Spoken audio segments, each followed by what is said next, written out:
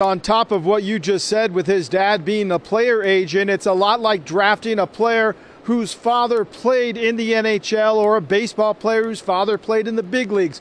When you grow up around the game and with the elite players in the sport, that is going to make you an even more complete player both on and off the ice. I had a chance to go one on one with general manager Kelly McCrimmon right after the draft pick, and I asked him about Brisson and looking ahead to day two and what's going on with Marc Andre Fleury. Kelly, I know that you were going for the best player available. What made Brendan Brisson the best player available? I think uh, real high skill level and a guy that generates offense is uh, is a big part of it. Some, you know, real talent, and uh, you know, really uh, encouraged with uh, his progression as a player. He uh, played in Chicago of the USHL, which is a real good program. He was a, a great player on that team, and really has improved, shown really steady improvement.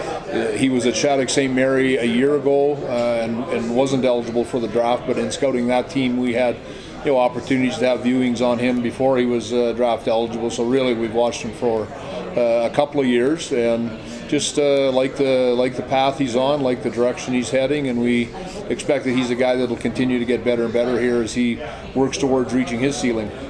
When you look at Wednesday rounds two through seven, and without any second round picks at this moment, what is going to be the focus for the organization? Are you looking to accumulate picks? Are you going with what you got, or are you going to let it play out? And, and what kind of players are you looking for? Uh, well, you, you don't know what you're going to do in terms of uh, acquiring more picks. Uh, you might use a pick to move up. It all depends on how uh, the drafts on the draft unfolds. But day two is uh, you know never as high profile a day as uh, as the first round of the draft is. But there's a lot of really good players that get selected on day two. We have four selections. We'll work to make those count the best that we can and. Uh, you know, I know this is to me a real measure of a good staff is what they do with those uh, picks in uh, you know rounds two through seven. So as you mentioned, no second but two thirds. So we'll uh, we'll do our best to continue to add talent to uh, to the Golden Knight organization. There's been a lot of talk in the media world, of course, with the Fleury potential. The Steven Stamkos stuff came up today on the national level how busy has just conversations and phones, not on those particular, but just in general, have, has there been a lot of talk between general managers around the league of potential of doing something? We're, we're just focused on the draft today, and uh, you know this is uh, the most important day of the year for our amateur scouts. They work all year for it, and uh, organizationally, not just our own, but across the NHL. Uh, you know, you have to be good on draft day uh, if you want to build a successful organization. So uh, that's where our focus has been, and the things that uh, you allude to, uh, we'll get to in time. But you know, we want to support our uh, scouts as they work their way through the draft, and that's what we've been doing. Kelly, thank you very much. Thank you. Well, clearly Kelly McCrimmon not interested in talking about Marc Andre Fleury or any potential trades, and he can say all he wants that the focus is strictly on the draft.